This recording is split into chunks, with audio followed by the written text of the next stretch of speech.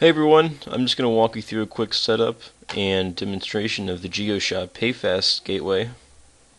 So first thing you're going to want to do is come into your plugins and just make sure it's activated.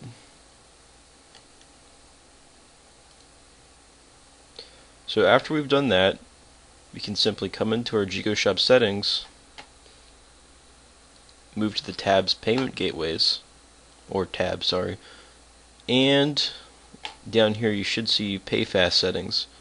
So you just want to make sure it's enabled and enter your account information and for this demonstration I'm just going to enable the sandbox. So save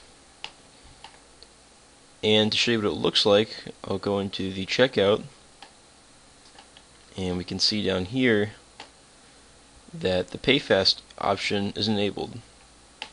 So after selecting that can place the order and it will redirect you to the PayFast site. Thanks a lot guys, enjoy the plugin.